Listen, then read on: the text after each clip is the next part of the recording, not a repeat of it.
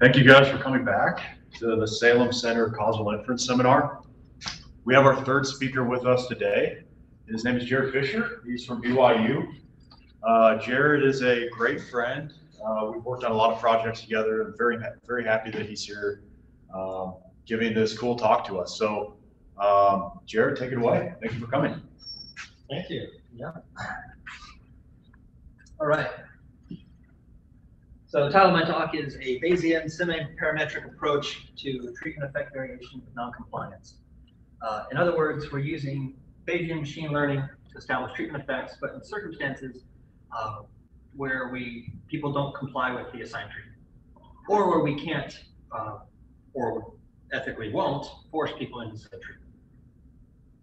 So the question uh, to start by posing is, um, what effect does health insurance actually have on your physical health at like a larger population level?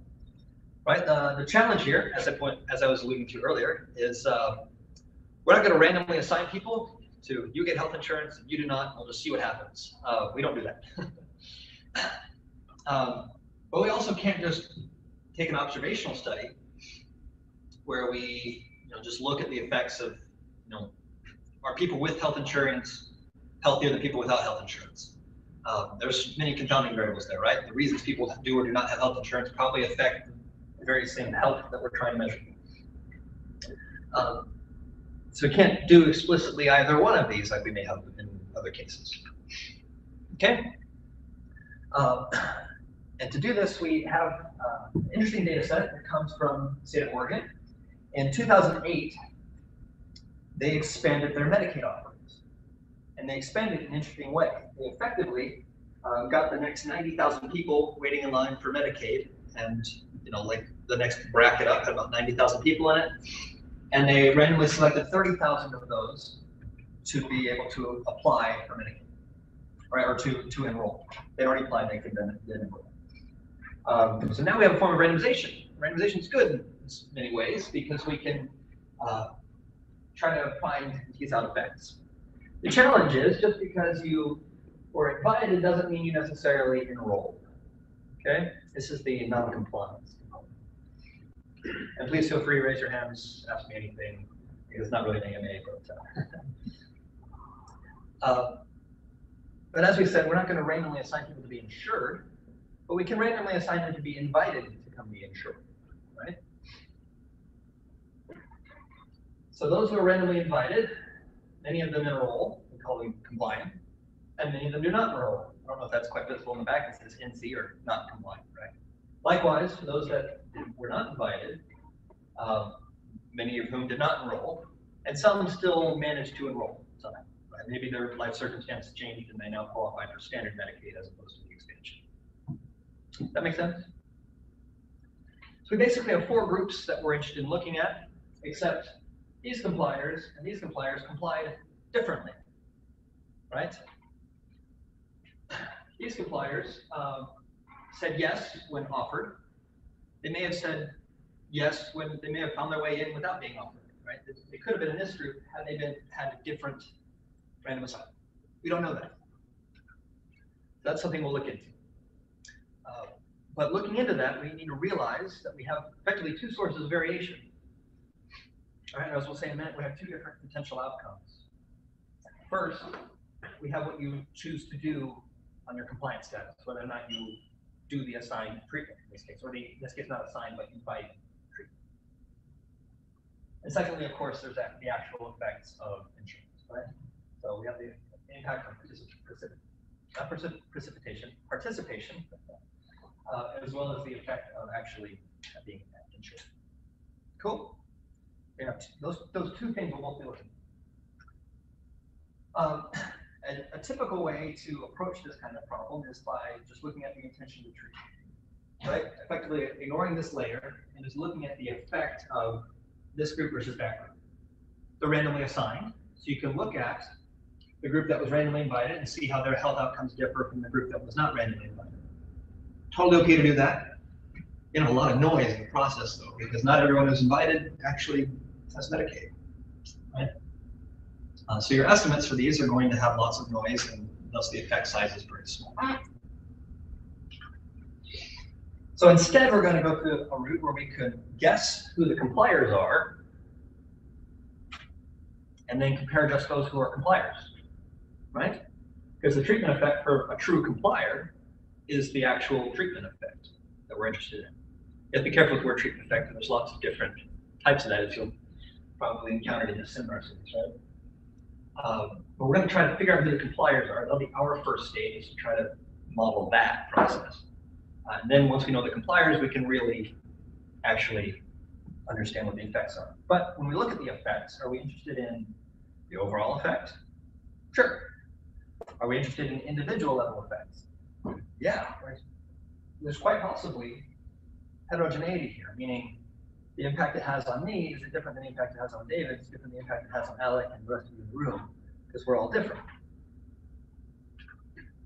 To give you a sneak peek, the first version, the ITT, the intention to treat, meaning we invited them, or this could be like a nudge in social science research, um, has an effect. This is non-zero, right? You can see this distribution of effects. Are at the individual level, but they're kind of small. I'll talk about the scale and everything in due time. This is a sneak peek. It says here. Um, but if we look at the same thing when accounting for the compliance structure, uh, we see that effect size multi multiple folds larger. Okay, how do we get to that? So in this talk, I'm going to hit on those two versions of variation, right? Those two sources of things that are going on, right? Uh, first is the variation in noncompliance, which is specific to the Medicaid problem. By the way, uh, in my slides, things written in black text are just general methodological pieces about what I call BCF late. Um, and things in gold text uh, are specific to the Medicaid problem. Okay. So in our Medicaid version is what kinds of people are more likely to comply with the invitation, right? More likely to sign up for Medicaid when they're offered to be there, when they're offered to join. Second, we'll look at the variation in the impact of this intervention among compliers. In other words, for those who are complier type people, how does the Medicaid coverage affect their physical health? Any questions? Is that clear? Okay, so simultaneously solving two problems, because solving one of them really helps us solve the other. And as we'll see, information about this layer can also give us better estimation out there. We're going to do this with uh, BCF, so the Bayesian causal forest method, uh, written by Richard Hahn, who is, I believe, the first speaker this semester, right? Uh, as well as Carlos Carvalho and Jeremy. But we're adapting that to non-compliance. Okay. Uh, so I'm going to go through some of the theoretical notation and things so we can understand the problem, um, as well as how to estimate certain, what, what, what do we exactly mean by treatment effects and how do we estimate those? And then I'll discuss the two layers of models and show results. Okay. So the setup. Um, yes, these are navy and gold. I was a postdoc at Berkeley, so these are still Berkeley colors in my slide. Uh, so notation-wise, because any causal inference talk, you get all sorts of fun different alignments of notation, right? Uh, YIOB outcome, which in gold here is a measure of physical health. Uh, ZI, if they indicate treatment, uh, the treatment assignment, that is, whether or not you won the lottery, the random lottery to join Medicaid. DI, D for drug, as if this was pharmaceutical, totally not, obviously. Uh, but that means you actually received the treatment, you ended up enrolling in Medicaid. Okay. Uh, and then XI, X is bold, it's a vector of covariates. Okay, uh, we have 13 different covariates, including age, sex, income, race, household size, etc. Uh, and 4,849 subjects. Okay. Now you may ask, that's less than 3,000. Yes, it is. um, we don't have complete data on all, or excuse me, 30,000, which is, we have 30,000 invitees out of 90,000. Uh, this is some of each of those groups here, for those that we do have data for. Okay. And we'll use this notation in the principle in the potential outcomes framework, right? So standard potential outcome framework, we have y when you don't get the treatment, so y zero, and y when you do get the treatment. Okay. But we have two layers of treat, treatment now, right? One is being invited or assigned to treatment, and the one is actually getting the treatment. So we'll denote this with Z, the invitation. Okay, so when you're assigned to treat, assigned to control and assigned to treatment, likewise, you have effectively a second potential outcome, which is your behavior or what you do when you're invited to treatment or invited, not invited to treatment. So D sub Z or D sub I of zero be Medicaid if you're not, whether or not you're in Medicaid if you're not invited, and D1 is if you're Medicaid if you are invited. So these are binary. Maybe I don't need to say it in this seminar series, but one of the issues, the main issue we encounter is the fact that we only know one of these possible two situations and one of these possible two situations, right? Everyone here, if we were randomly assigned, we only get z equal one or z equal zero. You can't get both. It's not two realities. There's no multiverse here yet, at least. Um, we only get one pair of those. And that's, oh, we only get one pair of these, and that's what we got to figure out. We're gonna have to make some assumptions and inferences and things to try to understand what might happen in another scenario. And I'll go through those in just a moment. The first set of assumptions we make is, uh, I should start this off by saying the joint work I'm doing with Jared Murray, who's here, and Avi Feller at Berkeley. So I say we, uh, as we. Uh, assumptions we make are one sigma, which is needed to, gen generally needed to use the mutual outcome notation, as we are. Uh, we're also assuming strong ignorability, uh, which is easily satisfied because the lottery is random. Everyone has a chance of being selected, um, and the selection is just a weighted coin flip, so there's no confounders. No compounders of that nature. Okay. Um, these could be debatable, but we feel fairly safe that Medicaid is reasonably the same when it, on paper when it's signed to people, um, and that me joining Medicaid doesn't necessarily impact you that's perhaps more up for grabs. But. So I mentioned ITT. What exactly am I talking about? Um, it's the intention to treat, meaning we don't look at whether or not you actually have the treatment. We just say you were assigned the treatment or not. Um, the ITT is the expected difference between you with the treatment and you without treatment, or whatever we're measuring on you, in this case, your physical health. Okay. Uh, we could allow this to vary by covariates and have a conditional ITT. And this is exactly what BCF and other methods do, where we figure out, given your list of covariates, right, the x's applicable to David, we can plug them in this function and get an expected treatment value. Okay, that's the ITT. Because um, we're not looking at whether or not you actually had the treatment. So it's the intention to treat.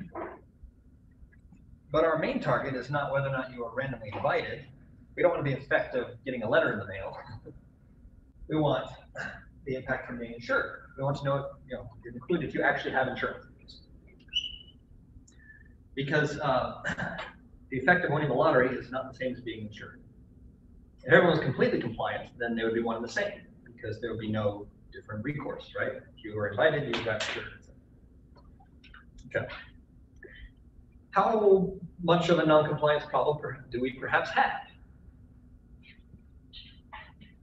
Well, we know if you're assigned the treatment, and we know if you received the treatment, right, across the columns here. And we know that little, you know, almost 1900 of the subjects in our data set were not assigned a treatment and did not receive treatment. In other words, they were not invited to join Medicaid and they weren't on Medicaid at the follow-up. Uh, but we know that 400 people who were not invited to Medicaid were enrolled in Medicaid a year later. And likewise, we have 1,400 people who were invited to join and did not. Okay, so we have these are not zero, therefore we have, oops, these are not zero, therefore it's, we have non-components. Okay. Uh, in fact, you know, these percentages should be zero and 100 to show that percentage. Okay. Now, what exactly do we have? What can we what can we figure out about these people and their behavior? We can define what we call compliance types. Okay. Um, this isn't for me. This is standing in the literature. So far, most everything I said is standing in the literature, right? Uh, we can define someone as an always taker, where they, when assigned to the control, they get the treatment. or assigned to the treatment, they get the treatment. They always take the treatment. Okay? Uh, in a pharmaceutical trial version, this could mean that they find some way to get their hands on the prescription anyway, or on the trial drug anyway. In this case, it means whether or not you were invited, you ended up enrolling in Medicaid. Okay? Uh, we have our compliers that we're, trying to identify, or they follow that treatment assignment, right? One goes to one, zero goes to zero. If we have compliers, perhaps we have defiers who do the opposite of what I'm going to tell you, to your own effects, right? Um, right, they don't get the treatment when invited and they get the treatment when not invited. And lastly, we can have never takers, right? Someone who's just not gonna do it. Uh, I'm gonna denote these as A, C, D, and N by their first letter. So we effectively have four different compliance types, right? Four different possibilities, and we only get to see one, or we only get to see one of these, right? So if we knew both realities, with you in and out of the, uh, something slashing behind me, um, in and out of the treatment group, right? Uh, we would know what you do, but we don't know that. So what we need to think of is what we actually see. So I know if you're, I know what your Z and what your D are, right? If you're assigned to treatment or assigned to control and you receive the con- control, you could be a never taker or you could be a complier. Likewise, if you're assigned to control and you get the treatment, you could be an always taker or a defier. Right? We have effectively eight groups. By seeing your Z and your D, we can narrow it down to two, but that's still more than one. Fair enough. Um, so we're going to make some assumptions to simplify this picture. First of which is what we call monotonicity, which is a fancy name for saying there's no defiers. And a defier in this case is someone who will not enroll in Medicaid if they're invited to apply, um, and will still get Medicaid if they were never invited. Doesn't seem reasonable to us, right? If you're if you're joining the study, you probably want insurance, or you don't. Like it, a defier type doesn't make sense. So we feel pretty reasonable that there's no defiers in the Medicaid study. This is a fairly standard assumption in a lot of work in this space. Um, and it's called monotonicity because it means D at one is greater than or equal to D at zero for all the classes, all the compliance types. So we take the defiers out, it means we now have two buckets that are identified. Right, if you're assigned a treatment, you don't take it, because we are assuming there's no defiers, we assume you're a never taker. Right? Um, Likewise, if you're assigned to control and you get the treatment, we assume you're an always taker. What this is going to allow us to do is we can now understand the, how the covariates are all working for those two groups. And based on how these covariates are working, perhaps we can infer what's going on here and thus tease out the compliers. But we can't quite do that yet because we still have six possible buckets here, right? We have the never takers. We have two possible categories of never taker, right? We have those that are invited to apply and those that aren't. And perhaps that invitation has some effect on the never takers. So we're going to assume it doesn't. Okay, so an exclusion restriction we'll make is that the randomization treatment assignment only affects only affects the compliers outcomes, right? Because they actually get the treatment. So effectively, that letter in the mail, we assume that has no effect on you unless you actually go get the treatment. So the always takers, never takers, we're assuming that their potential outcomes are the same regardless of that invitation. Right? We're thinking that these never takers and these never takers are the same category. As well as these always takers and these always takers. And that'll let us learn things about this group because it's identified and we can apply to that group. And if you're in this group and you don't match that never taker description, you must be compliant. Kind of cool? Not my idea, someone else's idea. We're going, we're, we're going down the road. Um, All right. So if we can find these compliers, then we don't need to measure just the intention to treat. We can find the intention to treat just for the compliers, which is the actual compliers treatment effect. Or the local average treatment effect, so it's local to compliers, right? Um, so if we average over everybody, so it's local to compliers and average over everybody, that's the local average treatment effect or rate. Sometimes called the CACE. for the uh, complier average causal effect.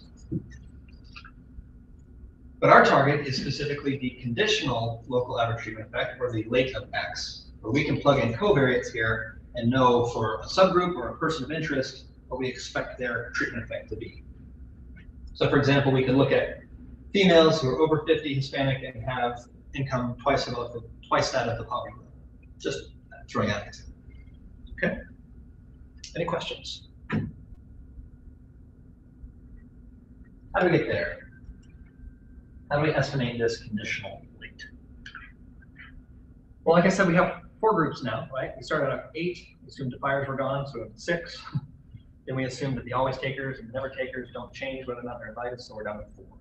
So we have four groups, uh, and I'm Bayesian. If you didn't catch that by the number of times Bayesian's been in the top already.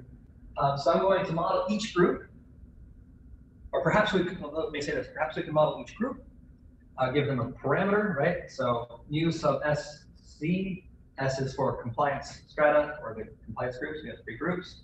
Z is what helps us split the control and treated compliers into two pieces. So really we just have four means and some error variance.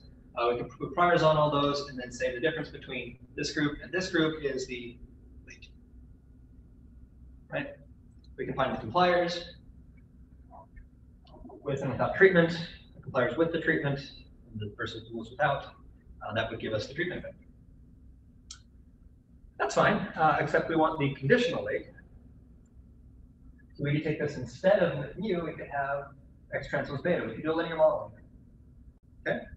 And in fact, this is what's in, uh, if you've ever looked at the causal inference book by Rubin and Imbens, uh, and gone to the part of the back, like chapter 25 or 26, it talks about building a model-based approach to the local average treatment effect estimation problem.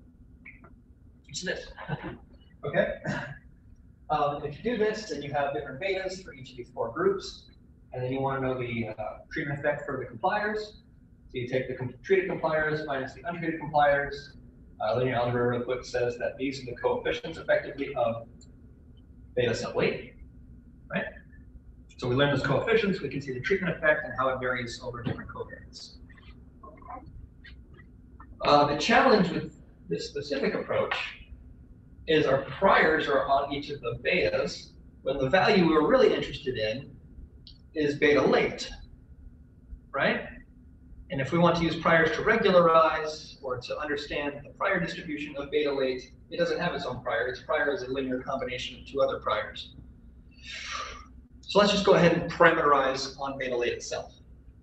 Okay, so I'm going to rewrite this a little bit, where we have x prime beta for each strata, for each compliance group. Uh, then I have an indicator if you're in the treated compliers group, and they get some extra parameters. Right? That's literally beta something for us. Um, so this beta now has, there's three different values of beta here, A, C, and N, right? Um, beta late can have its own prior because it's its own variable. It's independent, not independent. Independent in the social context, not in the statistical context.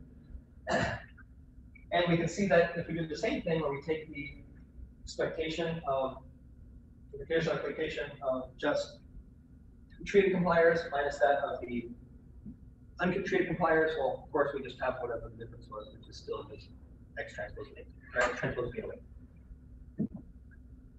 I go through all this to show that this is the idea. We're going to take this reparameterized version of the Rubin and Imbens model and make it nonlinear. Okay. Um, however, that's all assumed that S was known, right? Right, to build this model, I had to know what your compliance type was, and we don't know those. Uh, we know that, well, we do know that if you're not a complier, right? If your treatment accepted is not equal to your treatment assigned, we know you're a never or an always taker, and that's fairly straightforward. Uh, but if you're if you comply, we don't know if you're actually a complier or you just happen to be an always taker who was assigned to treatment. Right? Or an example I list here, if you are you don't get the you don't get the treatment because you weren't assigned to the treatment, you could be a complier or a never taker. So what we can do instead, as Rubin and Imbens do, they set up a multinomial logistic model on compliance type. Right? Because as we said earlier, we can learn things about the never takers and the always takers. Right? We can figure out kind of what this gamma is, these coefficients gamma sub n and gamma sub a. And based on those two, right, we can tease out what the rest of it should be and get an idea of how to classify people into these three groups. Once we have an idea of how to classify them into groups, then we can also fit the outcome model right here. And to, together, it's a paired model structure. Um, we can actually have inference on this situation. Okay, and the beautiful thing about doing posterior draws from MCMC is we will understand the variability around this as it pertains to also the outcome model. We'll talk about that in a minute. Okay, sorry to chat. Howdy. Um, all right. It's not clicking. So what do, what do I mean when I say this happens in MCMC? Well, we've got, this is the full model, right? We have our outcome model here, where we've got uh, different X transpose betas for each compliance type. We've got an indicator for being a treated complier, as well as the additional covariate pieces that come from that. And errors, those should be normally distributed. Uh, we have a multinomial logistic regression here, and then some priors on all of them right? So the MCMC proceeds forward as sampling some new values of the multinomial logistic regression coefficients. Based off of those, we can impute some value for the compliance type. Right? That's what multinomial logistic regression gives you. It's one of a handful of categories. Once we know S, we can draw new values of our betas from the outcome equation. And of course, draw new sigma squared. And then repeat, right? beautiful thing with MCMC, we can estimate parameter values and their distributions from complicated models. David? Um, I'm just curious, I guess, how much variance there is at the multinomial step? I mean, is this, is this a pretty stable part of the process where, where you're able to, you know, pretty accurately learn the types and then condition on those, or is it, is there a lot of noise? Great question. Um, depends on the problem. Uh, it depends on the individual, right? So in this problem, we can nail down, the exact percentage, uh, pretty good idea of who many of the people in terms of their compliance category. Um, now, in the applied problem, we don't know exactly what that is, right? Um, the model just says, you know, there's a very high probability they're in this category. Um, in simulation studies, which I don't have in the slides, uh, we, you can vary the amount of noise, which increases the challenge of the problem. And you know, so it's, it's somewhat dependent on the problem. Did, so did you ever think of using like a fancier classification function instead of multinomial? Uh, nope. Great question. No, that, that's certainly a place this could you know, be improved. Uh, perhaps. I mean, maybe this is the optimal classification model. I'm not sure. Um, one of the reasons we did pursue this method is uh, it's one of the certain we want to use BART. Right? We're going to put a BART prior. That's the next step here is instead of doing linear models here, here, and here, we're going to do Bayesian uh, parametric priors, so BART on those versions. And we do know how to do a multinomial BART. Yeah, got it.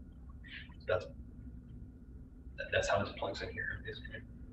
Um, Jared Murray's, I was going to say recent paper, I guess it might be two years old now. All right, so um, to that end, a couple things that may be kind of strong in this linear model setup is well, one, linearity. I guess that's the second point, but you know, everything here was a linear model structure, just you know, within a hierarchy, right? Uh, secondly, we just have a simple normal prior on the error terms. Um, so in our work, we're going to relax that linearity assumption by using BART priors instead. Uh, we're going to leave normality there. Uh, something that perhaps can be done in the future. To that end, we contribute the following to late estimation, right? Combining these two points, right? Uh, imputation, data augmentation of the compliance types. Some stuff going under the hood that we, we do to help that algorithmically. Um, and we do that because we are relaxing the linearity assumption. we can do some other things. It's not. Uh, and lastly, in that, uh, what's going to be the, uh, Bayesian nonlinear model on the multinomial logistic regression, we've created a new little, a, slight modification on BART that allows the trees to be the same across categories, and they do draw different values. Uh, so effectively, the leaves of BART are vector valued. That's, that's kind of fun. What is fun and it's kind of new. All right, so here's the big picture of our model. So we're going to, well, we're just taking, I'm taking all of this, and everything that's linear is now a function of x. Well, these are already functions of x, but we're going to explicitly write it. So we have y is equal to some function that's determined by your strata membership, your compliance type, plus an indicator of being a tree complier, that's the same, times a uh, parametric function of the treatment effects, right, of the conditional local average treatment effectively, and then a multinomial logistic regression. It's got these nonlinearities. Okay. Um, again, S indicates whether you're always taker, a complier, or never taker. In this case, this is always true for being assigned as a control. So I might I might slip up and call this like a control function. It's not probably the right term, but um, these are always the control cases because the only group that changes when treated is the compliers. These are your treated compliers.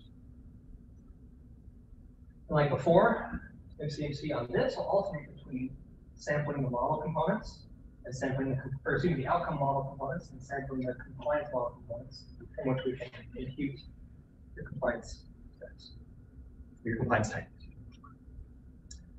So in the literature, though, this conditional weight estimation is uh, often done with two-stage least squares or with, with the termed an instrumental variable model or an IV regression. Challenge with IV regression is you have to predefine what subgroups you're interested in. Whereas the BART approach will let us, BART will explore that space and figure out what combinations of interactions and nonlinearities is good. Um, it's also subject to the weak instruments problem, meaning if your non-compliance rate is quite high, you don't have many compliers. That's kind of like in econometrics when we talk about having a weak instrument, right? The indicator of the instrument in this case is your compliance type, or your compliance seeing whether or not you comply. Uh, if there's not much of that, you have a weak instruments problem.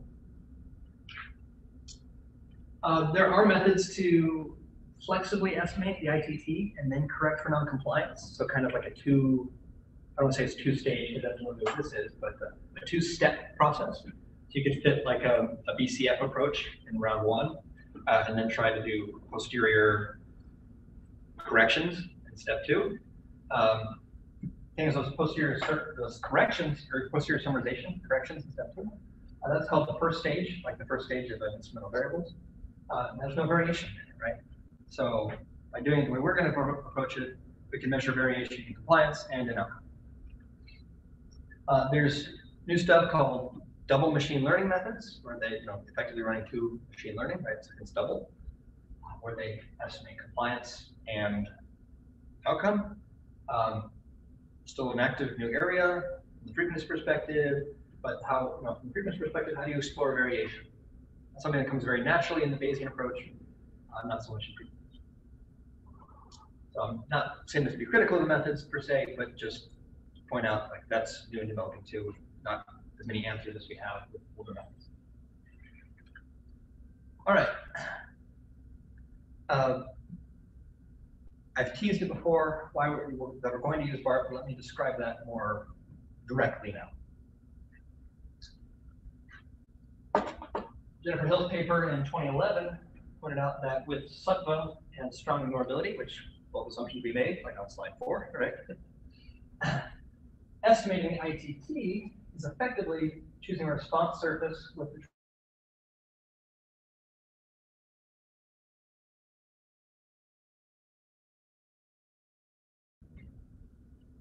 with the with another treatment, um, that will get you the ITT. You can estimate treatment effects that way. So in this paper, there's a single BART prior on both of these, and then you do it without, you know, with zero. I think there was, correct me if I'm wrong, probably the wrong audience, but But uh, a single BART with X and Z as the covariates, and then toggle Z on and off for different X choices, and that shows you treatment effect of different X choices. Uh, Well, we can do this in other approaches as well, because what's really good at estimating complicated response surface? Machine learning methods, trees, nets, you name it. Um, in particular, we're gonna follow what Hill and Hahn have done on it all, and using BART or Bayesian additive regression trees for that function. What are these? Well, um, you may be familiar with trees, but a thirty second overview is it's gonna split and partition the X space and assign values to each of the partition segments. So the tree part looks like this, right? So I have a list of X's, and if X one is less than some value, I go down this side, or if it's not less than some value, I go down the no side, if it is less than some value, on the yes side. But what that does in X space is it effectively draws a threshold, and I'm gonna have one value on this side and one value on that side. It can split again, however, now we're gonna split on X three, and that's like drawing a line in another dimension. So I'm gonna draw straight lines effectively through X space and break things up into rectangles. And Those rectangles will each have their own predicted value. Um, Pretty flexible in finding sections, but then the breaks are aren't always super smooth. And the great thing with BART or any forest method uh, is you average over a bunch of these basically, or you sum up a bunch of these. Uh, and what that lets you do is you can have a little more flex, bit more flexibility than just a straight partition from a single tree. And that's what we do. Um, BART, the original paper, um, uh, Chipman and co-authors, says y equals to some function plus errors, and that function is a sum of these trees. Some of the, and people have done, you know, groups of trees before. What made this extra novel was that they have natural ways to shrink your means towards zero and to shrink the growth of the trees towards smaller trees. And that allows this not to overfit, which is a problem in some machine learning methods, right? But why, would, why do we want to shrink? Well, if you've ever used a lasso instead of an OLS, that's why we're shrinking. Right? It's a form of regularization. It allows us not to overestimate things, to play it a little safer, and more often than not, playing it safer is better than overestimating. Okay. So I've done all this. Maybe you've heard of BCF before. This is what one of the foundations of our papers. What BCF did is it took y equal to that mu function, right? When you're under the control, not the treatment, your outcome is determined by this sum of trees. If you are treated, on top of that sum of trees, you have the ITT, right? Treatment effect. Now, with- with compliance, the ITT is the actual treatment, so this is good to go. Uh, to this, we're going to add that, or we add the non-compliance piece. So we're back here in our model, right? So we have mu, just, just like in BCF, where they have mu plus, they call this tau in the paper, I believe. So tau of x times the treatment indicator. We have mu plus a doubly important, doubly moving indicator for both complier and treatment times the effects ratio. Okay? Um, so we have BART priors on both these nonlinear functions. I even, and perhaps a stronger BART prior on late because we want to make sure we get the treatment effects right. Um, and then we're assuming there's the, the additive treatment effects here are not as perhaps as strong as um, the effects the control. And like I said, we, we, one thing we've developed is will allow a shared tree structure. So trees will be the same across the three groups, but the, the, the splits in the trees, I should say, but the nodes can be different values. And this is another way of sharing strength, right? Uh, it ensures that the variables you choose that are important for one group are important for another group.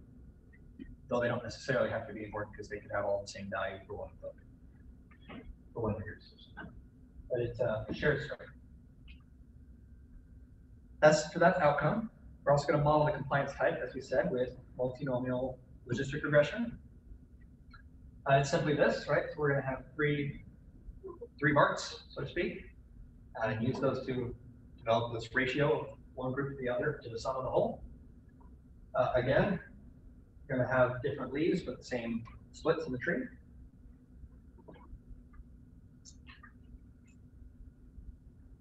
So here's the whole model. Any questions? That make sense? Right, so if you're not treated, you just hang out just mu of x. If you are treated, you get to add this to that. We're gonna try to figure out, in this multinomial model, what group you're part of. So I, I emphasize this a couple times because it is a non-trivial thing in this research, you know, niche of causal inference. To be able to say that posterior S is actually naturally conditional on the outcome Y. Right, we're not estimating this as the first stage and the second stage separately, they're jointly estimated. And so something we learn from the outcome, well, clearly we need to learn the compliance model to have an idea of how to do the outcome model, right? We don't know your compliance type, we can't even fit the outcome model. But if we're sharing information this way, we can certainly share information the other way. And that does happen via MCMC. Really cool. All right, um, we've kind of said this before, in the linear context, but we do the same thing. We update the multinomial model, update the BART process, uh, impute the compliance types, use those imputations to update the next step, and then update all pieces from the outcome model. Good. So perhaps the fun part, like what does this, what does this all mean for our Medicare study?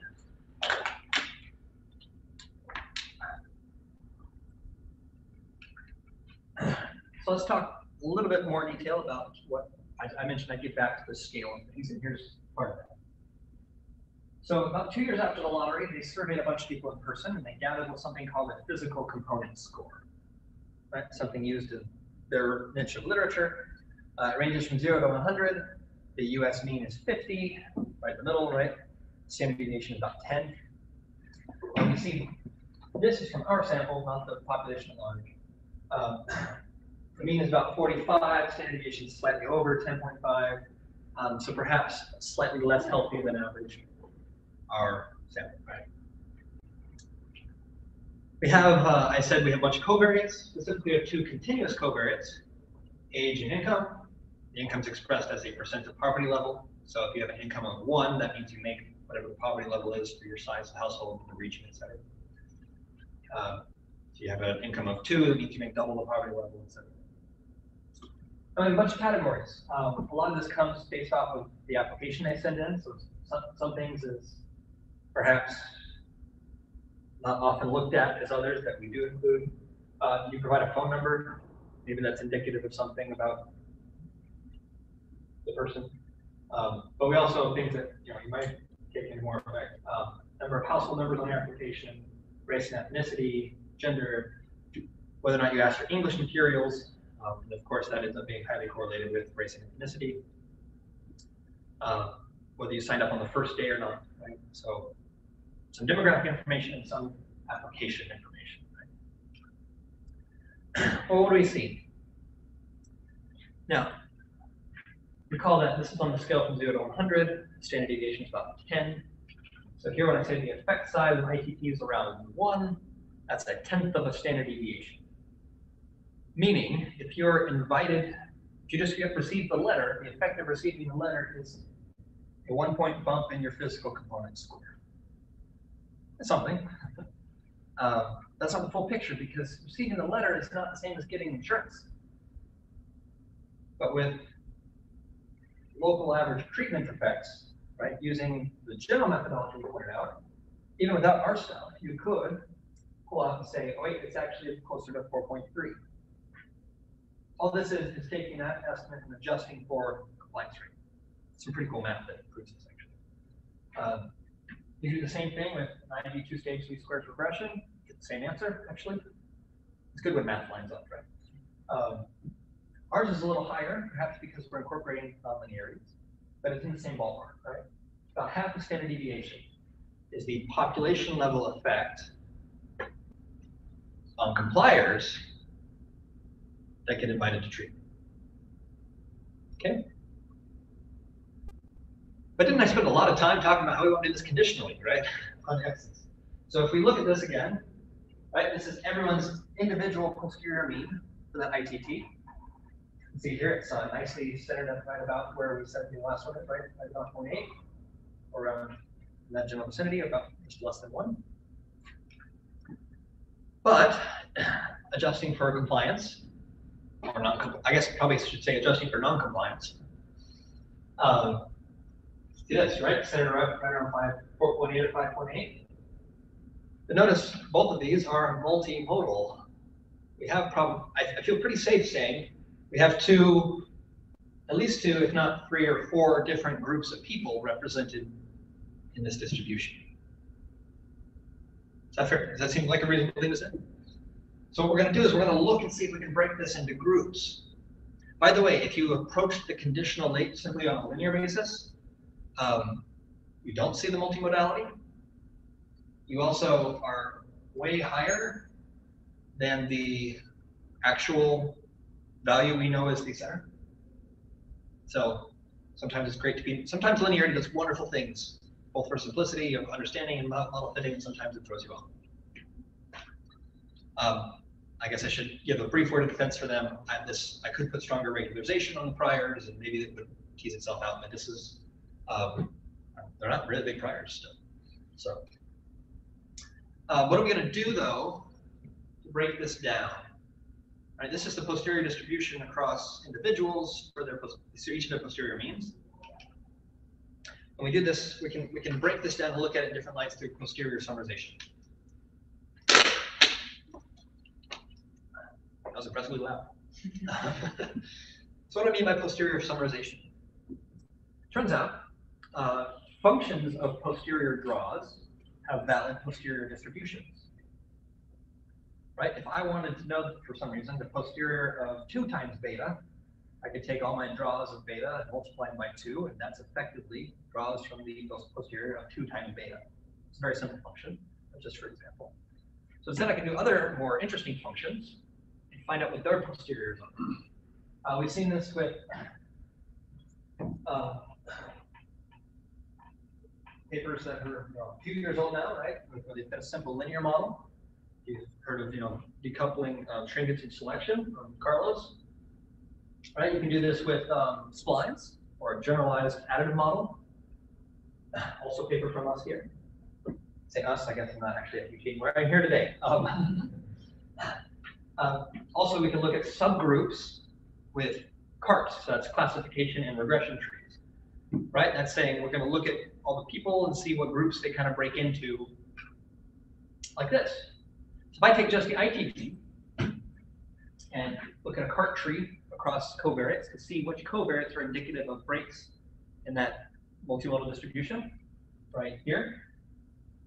We might look at this and say, all right, I expect something near almost 0.9, something almost 0.8, right? See where the centers, the centers of these modes I'm pointing out?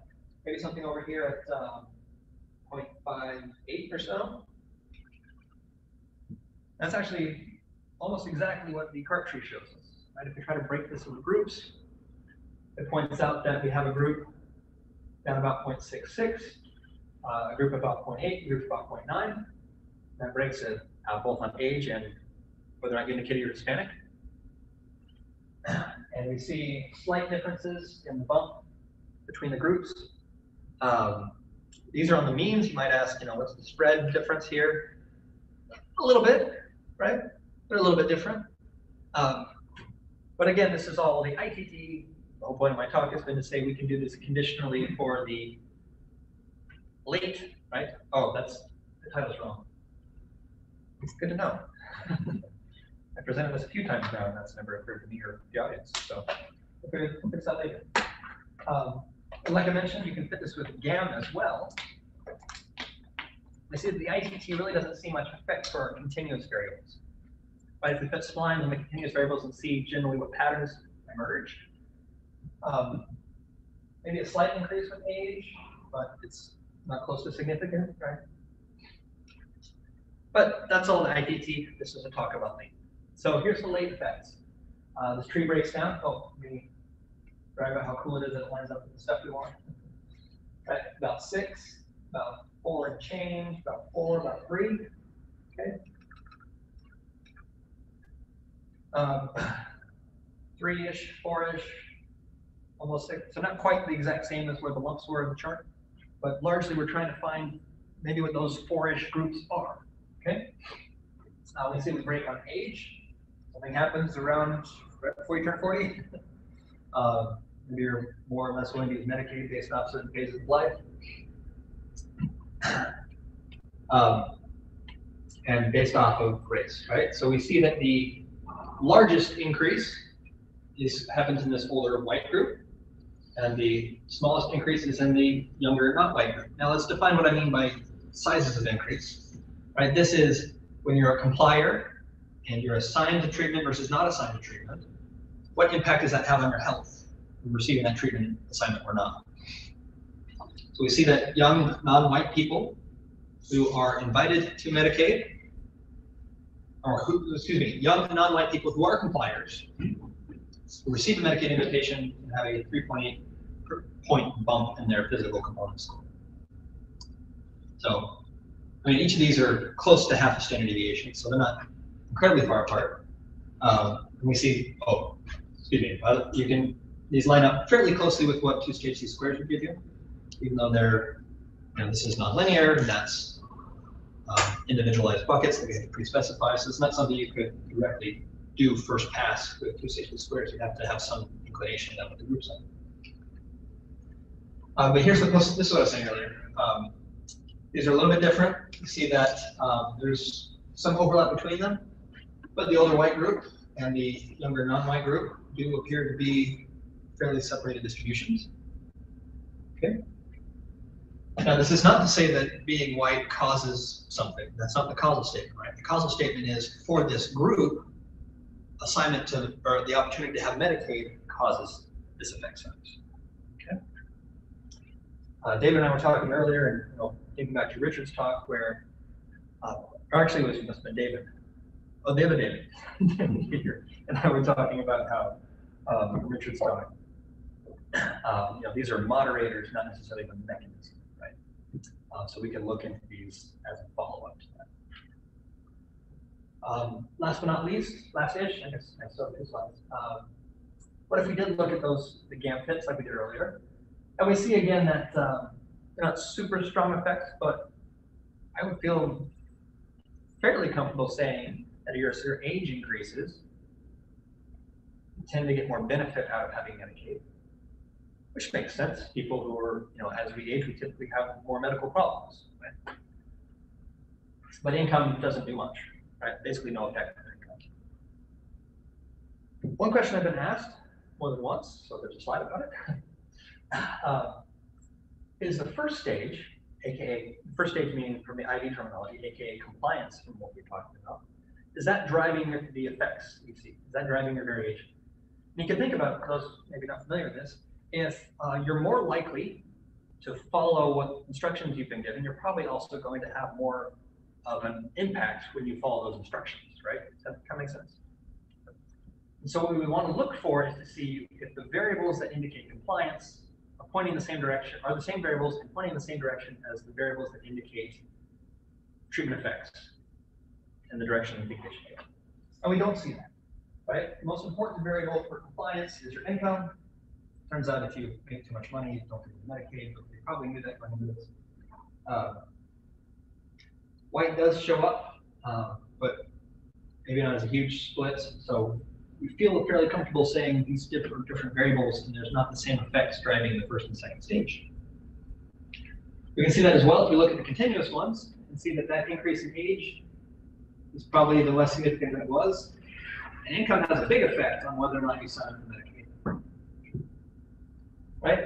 And presumably these are people who could qualify for Medicaid in the first place. That's not completely there because you see that there's you know, some outliers here that are really, I mean, there's a lot of legal semantics as to who can sign up what. when, Uh, that's a pretty strong factor. Last but not least, or content-wise, before I reach my conclusions, um, not just drumming these up, right? We can look for. Um, I'm not finding heterogeneity. I, I would like to say that I'm not finding heterogeneity where there is none, because I look at the same thing for mental health, uh, and it turns out um, everyone's mental health has about a three-point bump when you have Medicaid. It's, it's reassuring to know that you have that. Uh, I don't know, safety net, the right word. Okay. So in conclusion, uh, we present a flexible model for estimating the effects of a randomized treatment on the compliers. And part of that, as I hope I've conveyed here, it's important to figure out, try to figure out who those compliers are. So to do that, we impute the complier type. And we can do that via MCMC because we're pushing this as a Bayesian framework. Not only Bayesian, but a nonlinear Bayesian framework. Relaxed linearity assumption via BART. And we've got that added bump of uh, doing vector values in the trees, that the tree structure, not the leaf, not the means, but the breaks in the trees are the same across these categories. And for anyone interested, you know, first applied to this um, Medicaid expansion, we're also, David and I are actually working right now to apply this to uh, whether your participation in an employer wellness program, right? So if, you know, many employers have this, if you go and you run X number of miles in two months, you get some type of benefit. Um, how much does that help you? So that's what we're looking to know. Um, I thank you and um, happy to take any questions you have.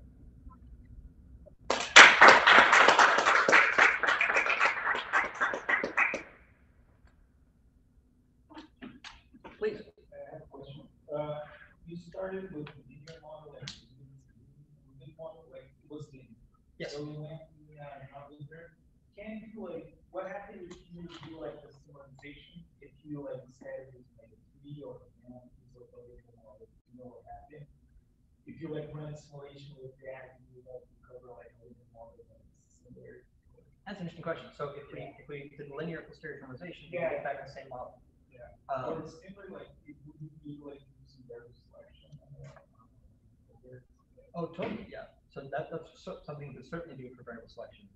Look at the uh, posterior impacts of that. It's, it- you've done some work there, right? Um, move forward. Um, I, I don't know as much about that in particular, uh, and I've also not tried doing the linear posterior normalization, seeing if we recover the original thing, but, um, Yeah, probably not, but no. it would- probably not, but hopefully Yeah. close-ish. Yeah. Yeah, that's very interesting. Thank you. Do you, do you know why the, so for, for the linear model case, right, when you were looking at estimating the late, um, you got like a, you got an even larger late distribution than Yeah. what you get in the BART and stuff like that. Do you know why it was even more biased when you were using this?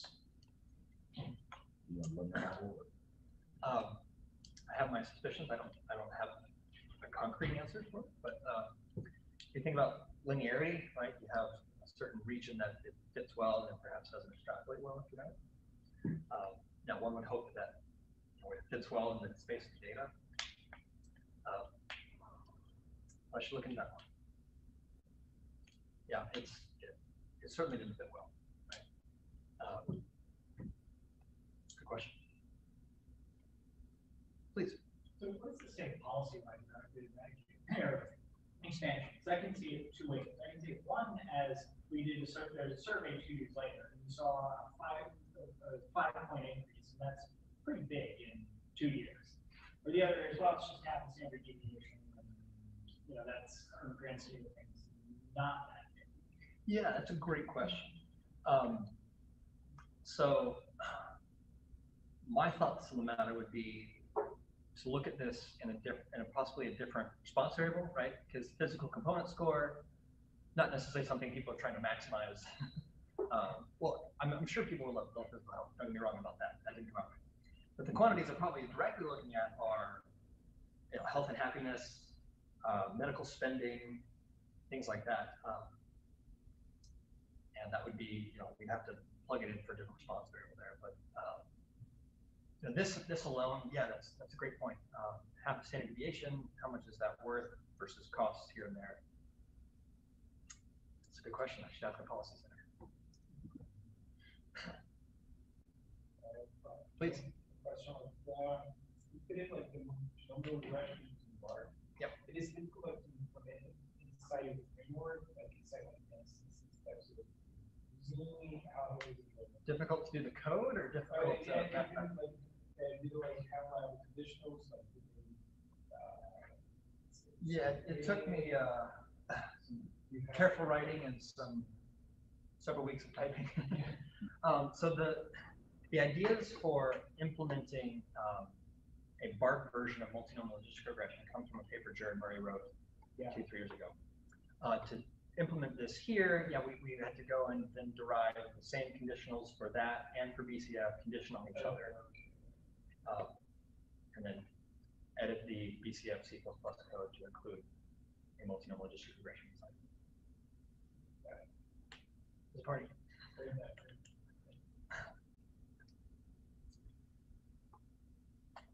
All right, let's thank Jared again. Thanks for coming, everybody. Oh, we have